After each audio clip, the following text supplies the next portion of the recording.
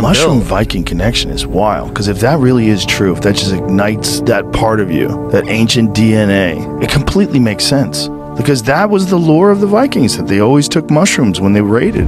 It brings out this crazy, I call it the savage. Like a lion gets out of the cage fucking once a week, you know? How did you decide on like how much to take or when to take it? There was games where I took a little too much.